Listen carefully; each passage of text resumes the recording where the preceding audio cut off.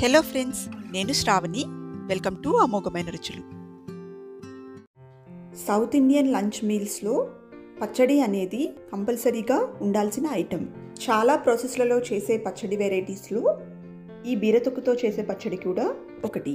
మరి రైస్లోకి delicious and పర్ఫెక్ట్గా ఉండే ఈ పచ్చడిని ఎలా ప్రిపేర్ చేసుకోవాలో ఈరోజు వీడియోలో చూద్దాం.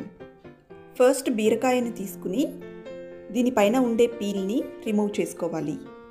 బీరకాయలు బాగా లేతగా ఉంటే ఈ పీల్ అనేది సాఫ్ట్గా ఉండి రిమూవ్ చేసుకోవడం ఈజీయే కాకుండా పచ్చడి కూడా చాలా టేస్టీగా వస్తుంది. ఇలా పీల్ ఆఫ్ చేసుకున్న బీరకాయకి ఎడ్జెస్ని కూడా రిమూవ్ చేసుకుని దీన్ని కర్రీని ప్రిపేర్ చేసుకోవడానికి యూజ్ చేసుకోవచ్చు. ఇప్పుడు ఈ రిమూవ్ చేసుకున్న పీల్ని అంటే బీరతొక్కుని అంతా తీసుకుని దీన్ని ఇలా చిన్న చిన్న పీసెస్గా కట్ చేసుకోవాలి. ఇలా పీసెస్గా కట్ చేసుకోవడం వలన దీన్ని బ్లెండ్ చేసుకోవడం ఈజీ అవుతుంది. ఇలా కట్ చేసుకున్న ఈ పీల్ని ఒక బౌల్లోకి తీసుకుని దీన్ని ఒక టూ టైమ్స్ బాగా వాష్ చేసుకుని వాటర్ అంతా డ్రైన్ చేసుకుని పక్కనుంచుకోండి. ఇప్పుడు ఒక ప్యాన్లోకి వన్ టేబుల్ స్పూన్ ఆయిల్ని తీసుకుని ఆయిల్ హీట్ అయిన తర్వాత వన్ టీ స్పూన్ ధనియాలు వన్ టీ స్పూన్ జీలకర్ర త్రీ టేబుల్ స్పూన్స్ పల్లీలు అలాగే ఒక ఐదు వెల్లుల్లి రెబ్బల్ని యాడ్ చేసుకోండి. వెల్లుల్లి రెబ్బల్ని లైట్గా క్రష్ చేసుకుని యాడ్ చేసుకోండి. ఇవి కొంచెం వేగిన తరువాత దీంట్లో వన్ ఫోర్త్ టీ స్పూన్ పసుపు అండ్ ఒక ఆరు పచ్చిమిర్చిని యాడ్ చేసుకోండి. కారం తక్కువగా ఉండడం వల్ల నేను ఆరు పచ్చిమిర్చిని యాడ్ చేశాను. కారం ఎక్కువగా ఉంటే నాలుగు సరిపోతాయి. పల్లీలను బాగా వేయించుకున్న తరువాత దీంట్లో వాష్ చేసి పెట్టుకున్న బీరకాయ తొక్కును యాడ్ చేసుకోండి. ఈ పీల్ని యాడ్ చేసుకునేటప్పుడు దీంట్లో వాటర్ లేకుండా చూసుకోండి. ఇప్పుడు దీన్ని ఒకసారి మిక్స్ చేసుకుని రాస్మెల్ అంతా పోయే వరకు బాగా వేయించుకోవాలి.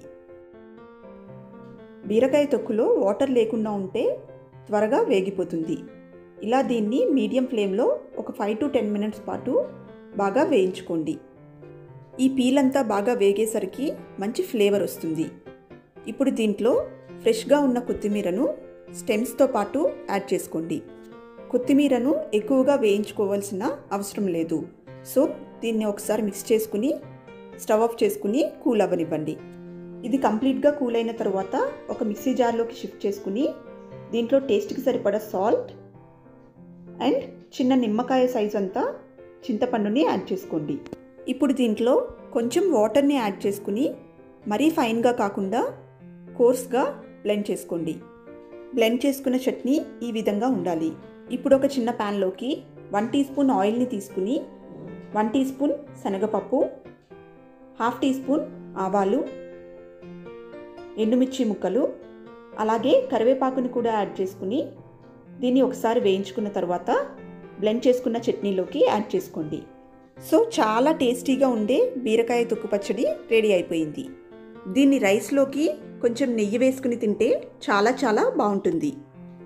సో ఈ రెసిపీని మీరు కూడా డెఫినెట్గా ట్రై చేసి మీ ఫీడ్బ్యాక్ని నాకు కమెంట్స్లో పోస్ట్ చేయండి.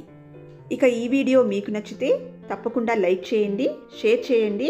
డెలీషియస్ రెసిపీస్ కోసం అమోఘమైన రుచులు ఛానల్ని సబ్స్క్రైబ్ చేసి పక్కనున్న బెల్ ఐకాన్ని ట్యాప్ చేయండి. Thanks for watching.